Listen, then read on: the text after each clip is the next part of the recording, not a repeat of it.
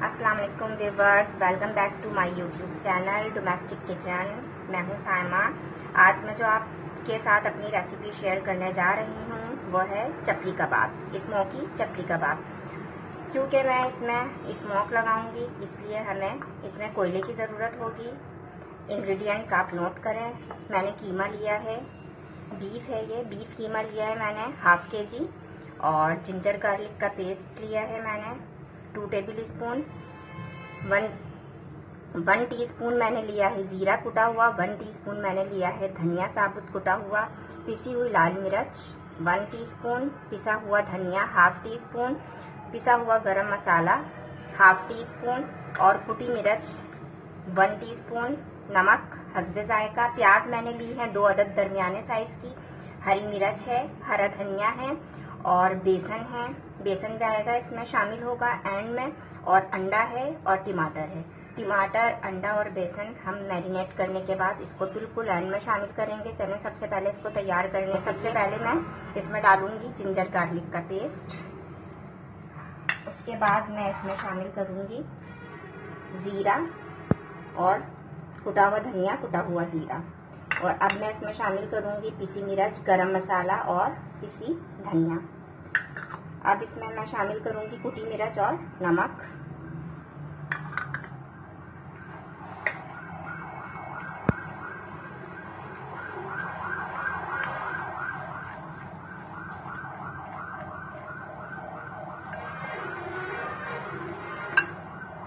अब मैं अपनी चॉपर लेती हूँ। चॉपर में सबसे पहले मैं शामिल करूँगी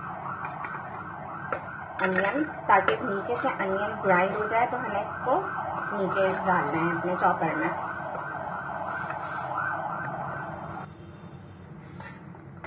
प्याज मैंने डाल दी है, इसके साथ ही मैं इसमें यहाँ पर हरी मिर्चें भी शामिल कर रही हूँ। अगर आप मिर्चें तेज खाते हैं तो हरी मिर्चें ज़्यादा ले सकते हैं और पीसी मिर्चें भी ज़्यादा कर सकते हैं। मैं मिर्चें कम खाती हूँ, इसलिए मैंने कम डाली। अब मैं यहाँ पर शामिल करती हूँ, ये अपना कीमा।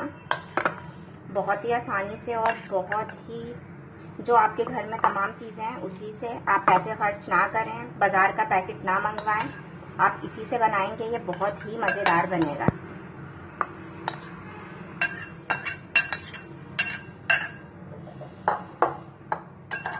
अब मैं इसे चॉप करने जा रही हूँ। ये जो हरा धनिया है, मैं बारीक बारीक इसको बाद में डालूँगी, क्योंकि वो नज़र आएगा कबाब में तो वो बहुत खूबसूरत लगेंगे। इसे चॉप कर रही हूँ मैं। तो देखिए, मेरा कीमा मैंने चॉपर में डाला था और वो ग्राइंड हो गया इस तरह से प्याज रहेगी चॉप इसमें और हरी मिर्चें भी इस तरह से रहेंगे। अब इसे हम मैरिनेट करने के लिए रख देंगे तीन घंटे या चार घंटे जितना भी आपके पास टाइम होगा, वो रख दें, क्योंकि ये स्मोकी चपली का बात है। तो मैं यहाँ पर इसमें स्मोक लगाऊँगी।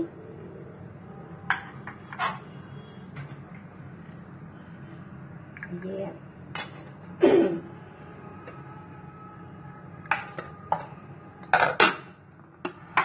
थोड़ी देर के लिए ऐसे कवर कर दें स्मोक दे दें, जब स्मोक इसमें पूरा हो जाए तो हम इसे मैरिनेट करने के लिए फ्रिज में रख देंगे। या आप चाहें तो बाहर भी रख सकते हैं। फिर उसके बाद मैं इसमें शामिल करूँगी हरा धनिया और अंडा और बेसन। और टमाटर वाले चपली कबाब भी होते हैं, जिसे चाहें वो आप, अगर आपको पसंद है तो टमाटर वाले बना लें, नहीं पसंद है तो आप विदाउट टमाटर भी बना सकते हैं। यहाँ पर अब, अभी एक प्रोसीजर हमारा कंप्लीट हो चुका है स्मोक लग चुका है, अब मैं इसे मैरिनेट करने के लिए रख रही हूँ। नेक्स्ट स्टेप मैं आपको बाद में बताती हूँ। तो देखिए, मैंने स्मोक लगा लिया था और ये हटा दिया है मैंने। और मैरिनेशन के लिए मैंने रख दिया था तीन से चार घंटे के लिए। अब मैं इसमें जो चीज़ें शामिल करूँगी, वो है हरा धनिया, ताकि ग्रीन ग्रीन सा रहे। अगर मैरिनेशन में हम हरा धनिया डालते हैं तो उसका कलर डिम पड़ जाता है। तो इसलिए हरा धनिया हमें बाद में डालना है। और अब मैं डालूँगी बेसन। मकई का आटा वगैरह शामिल करने की आपको कोई ज़रूरत नहीं है। इसी से ही बहुत ज़्यादा मज़ेदार बनेंगे आपके कबाब। और इसके साथ ही मैं इसमें डालूँगी अंडा। हाफ़ डाल देंगे। जितनी हमें ज़रूरत होगी, बस। अंडा डालने से कबाब टूटेंगे नहीं, बहुत से लोग आमलेट बना के उसके पीसीस करके इसमें डालते हैं। मगर मैं नहीं डालती, मैं इस तरह से अंडा शामिल कर देती हूँ।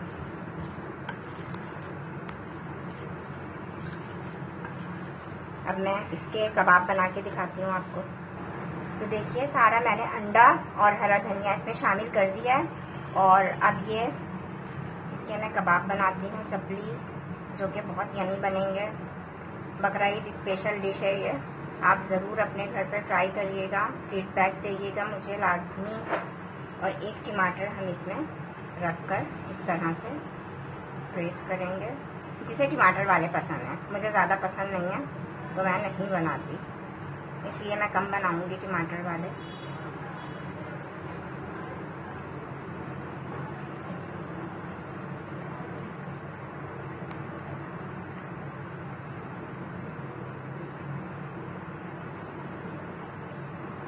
इसी तरह मैं सारे कबाब तैयार कर लूँगी, टमाटर वाले और विदाउट टमाटर। मैं इसे फ्राई कर रही हूँ, मैं इसे तवे पर ही फ्राई करूँगी। शैलो फ्राई होता है, ये ज़्यादा यमी बनते हैं। इस तरह से।